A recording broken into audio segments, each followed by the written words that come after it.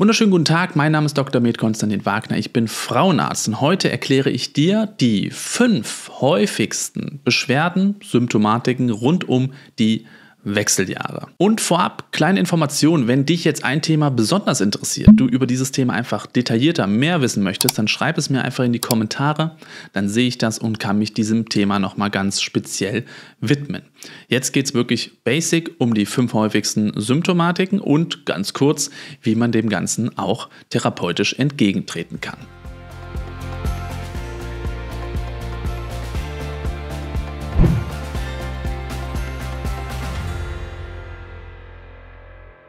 Fangen wir an mit Beschwerde Nummer 1 und damit auch mit die häufigste Symptomatik rund um die Wechseljahre. 30 bis 80 Prozent der Frauen sind ungefähr 7,4 Jahre betroffen.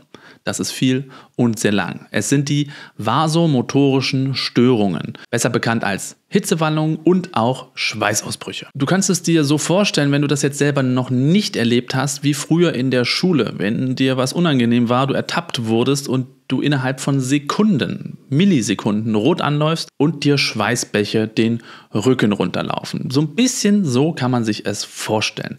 Es überkommt einen also von C-Spitze bis Haarspitze, dass man binnen Sekunden wahnsinnig heiß wird, auch oft rot wird und der Schweiß ausbricht. Wie kommt das Ganze jetzt zustande und was hat der Hormonhaushalt damit zu tun, denn er muss ja irgendwie was damit zu tun haben. Um das Ganze kurz zu halten, gibt es mehrere Theorien, die aber noch nicht hundertprozentig belegt sind. Was sehr, sehr wahrscheinlich ist, dass der thermoregulative Prozess im Hirnstamm nicht mehr so ganz optimal läuft. Bedeutet, wir alle haben so eine gewisse Toleranzschwelle, was Temperaturen angeht. Wenn ich jetzt im gekühlten Haus sitze, rausgehe, bei 35 Grad mich befinde, fängt mein Körper natürlich an, oh, ich muss schwitzen, ich muss transpirieren, ich muss viel mehr durchbluten, Gefäße werden weitgestellt, ich werde rot, um mich selbst abzukühlen.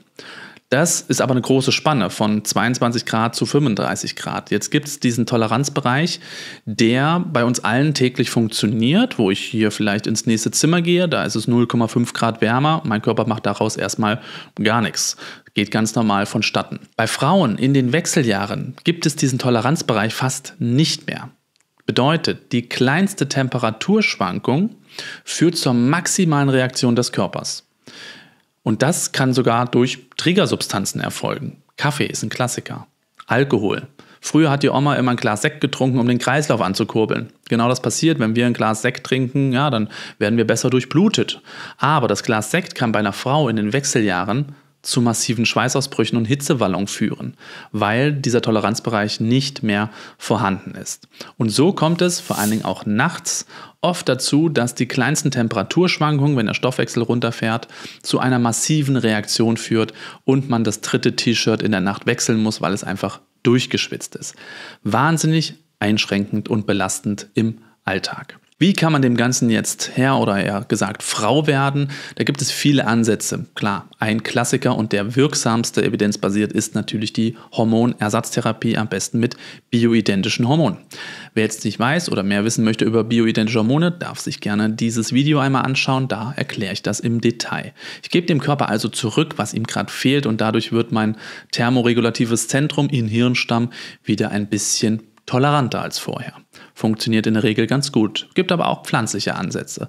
Kimiki Fuga ist vielleicht etwas, was du, wenn du schon mal damit zu tun hattest, gehört hast. Ist etwas Pflanzliches, was evidenzbasiert bei Hitzewallungen gut funktionieren kann. Aber auch die Isoflavone, die treue Zuhörer und Zuschauerin weiß jetzt ganz genau, was ich meine, denn die Ernährung in den Wechseljahren spielt ja eine wahnsinnige Rolle, Phytohormone etc. Könnt ihr euch dieses Video nochmal anschauen, dann könnt ihr da auch nochmal reingucken und euch die Ernährung in den Wechseljahren nochmal zugute führen. Also Isoflavone auch ein probates, wirksames, evidenzbasiertes Mittel. Kognitive Verhaltenstherapie bedeutet so ein bisschen, ich kenne meine Triggersubstanzen, ich kenne mein Verhalten und passe mich entsprechend an, dass ich gar nicht erst in die Bredouille komme. Das sind so grobe Ansätze bei den häufigsten und sehr einschränkenden vasomotorischen Störungen. Nummer zwei sind Schlafstörungen. Auch super belastend. Nicht nur die Einschlafstörung, sondern eben auch die Durchschlafstörung.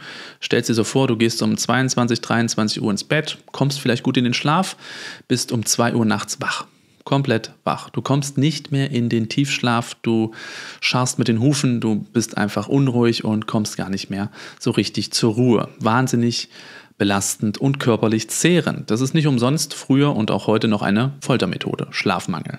Und zusammen mit den Hitzewallungen kann man sich vorstellen, wenn man nachts dann wach wird aufgrund der Schweißattacken, dass man dann aufgrund der Einschlafstörung nicht mehr in den Schlaf kommt, kann man die Uhr nachstellen, nach mehreren Wochen sind die Frauen einfach fertig mit der Welt.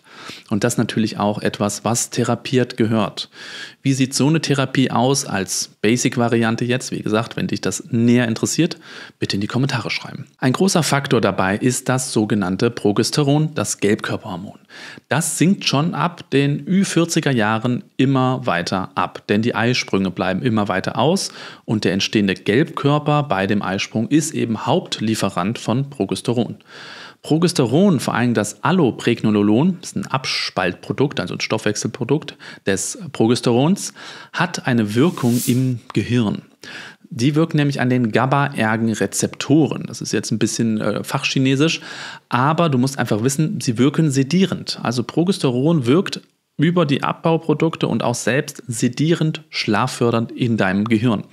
Gibt es weniger Progesteron, werden weniger diese Rezeptoren bedient und schon kommt man nicht mehr so gut in den Schlaf. Logische Konsequenz wäre also, dem Körper jetzt das Progesteron zurückzugeben. Am besten auch natürlich bioidentisch. Progesteron ist bioidentisch.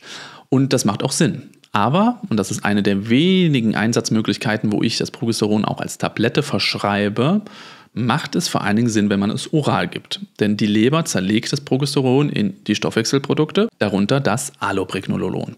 Also macht es hier schon Sinn, mit Progesteron zu arbeiten, um die Schlafstörungen zu minimieren. Klar, gibt viele pflanzliche Mittel, Baldrian kennen wir alle, selbst Johanniskraut, Hopfen etc.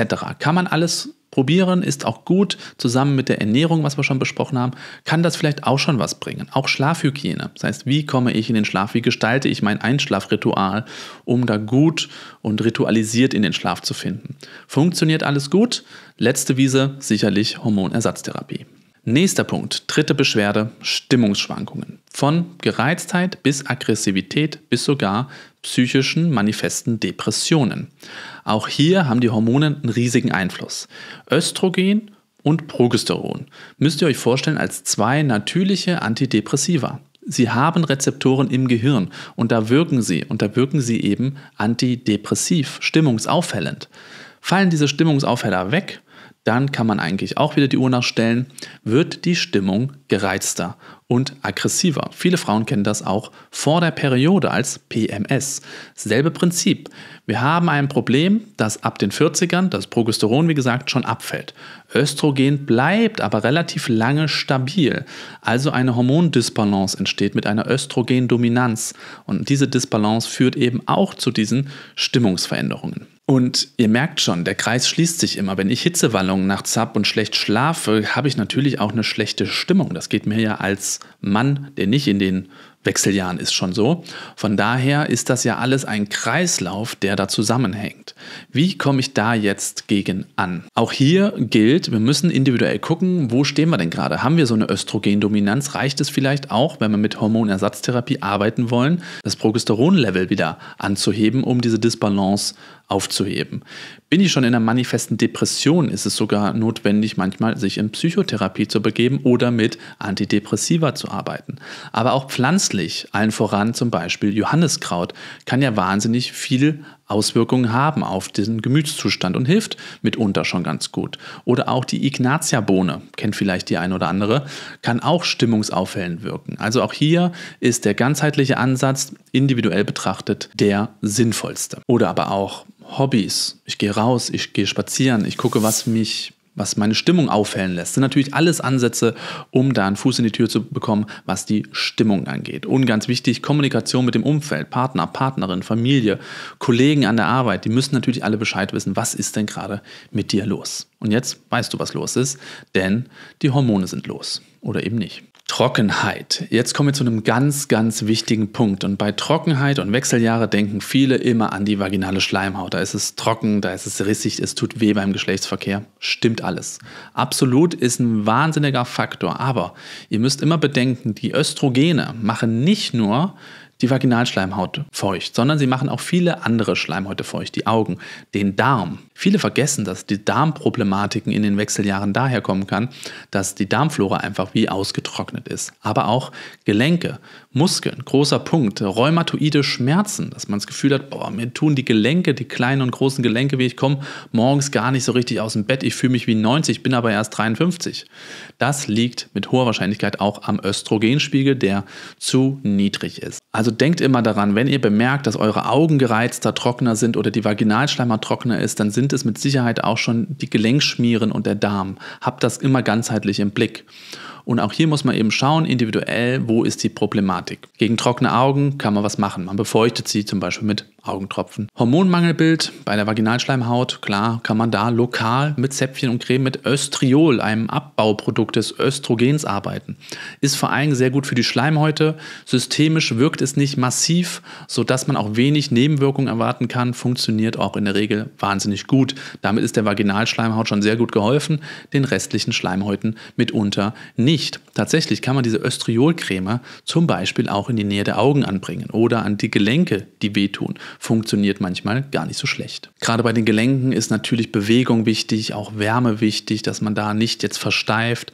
Beim Darm muss man immer darauf achten. Klar kann man mit Probiotika und Präbiotika arbeiten, dass man einfach auch die Darmflora gesund und intakt hält. Aber letzte Wiese auch hier, wenn gar nichts mehr geht oder das Gesamtbild einfach massiv ist, Hormonersatztherapie mit bioidentischen Hormonen. Letzter Punkt und Beschwerdebild Nummer 5. Die liebe Libido. Die Lust auf den Geschlechtsverkehr nimmt ab. Nicht nur wegen der vaginalen Trockenheit kann man sich vorstellen, ja, die Vaginalschleimhaut, die wird ein trockener und alles, was trocken wird, zieht sich ja irgendwie zusammen. Heißt, Frau wird auch enger tatsächlich, gerade wenn sie wenig Geschlechtsverkehr hat oder andere penetrative Tätigkeiten macht. Also wird man enger, man wird trockener, es wird rissig, tut weh. Selbst mit Kleidgel ist da nicht oft geholfen, sodass das auch keinen Spaß mehr macht senkt natürlich die Libido. Aber auch die Hormone spielen eine große Rolle und jetzt kommt endlich mal ein anderes Hormon ins Spiel, nämlich das Testosteron. Auch Frauen haben Testosteron, ein wahnsinnig wichtiges Hormon für Frauen, was aus den Vorstufen entwickelt wird. DHEA ist auch mal noch so ein Punkt, den ich jetzt aber nur anreißen möchte. Sinkt der Testosteronspiegel, sinkt die Libido. Das ist Fakt, das steht fest. Und bei Frauen sinkt dieser Spiegel sehr spät erst, aber er sinkt eben. Und zusammen mit den Symptomatiken der vaginalen Trockenheit, der Verengung und der sinkenden Libido hormonell bedingt, ist das Liebesleben zu Hause nicht gerade am Blühen. Gerade weil Männer im hohen Alter zwar auch einen Testosteronspiegel sinkend haben, aber oft noch sehr viel Sex haben möchten. Und da kommen natürlich jetzt partnerschaftliche Diskrepanzen auf. Früher war das doch alles toll, warum funktioniert das jetzt nicht mehr? Auch hier muss geholfen werden. Auch hier kann natürlich viel mit diesen Kleidcremes, Feuchtgels etc.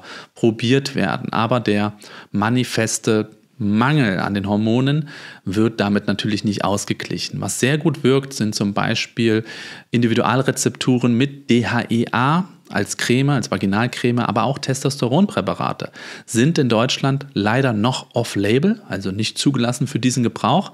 In Amerika gibt es da aber schon diverse Präparate, die man sich zuführen kann, damit die eigene Libido wieder gesteigert wird. Ich denke, je nachdem wann dieses Video jetzt geschaut wird von dir, dass auch in Deutschland bald die Schwemme rüberkommt, dass wir auch DHEA als Creme oder Gel oder auch das Testosteron als Creme oder Gel haben. Übrigens auch wahnsinnig wichtig für den Beckenboden. Auch Östrogen, Estriol zum Beispiel, wahnsinnig wichtig für die Beschaffenheit des Beckenbodens. Sexualtherapie, klar, ist ein Ansatz, muss man auch überlegen, kann man auch wahrnehmen. Meistens ist es tatsächlich aber die Gesamtkonstellation, die ich gerade schon erklärt habe. So, jetzt habt ihr natürlich viel Angst bekommen vor den Wechseljahren. Ich habe schon gesagt, die Drittelregeln, ein Drittel hat nichts, ein Drittel hat ein bisschen was und ein Drittel hat es ganz, ganz schlimm. Das dürft ihr euch immer wieder vergegenwärtigen. Das heißt nicht, dass alle Frauen alles haben. Das heißt auch nicht, dass jede Frau was bekommt. Aber ihr habt jetzt schon mal gehört, was so die Klassiker sind. Ich hoffe, das Video hat euch gefallen. Ihr könnt ein bisschen was mitnehmen und genau, lasst mir ein Abo da. Dann ist mir geholfen. Tschüss.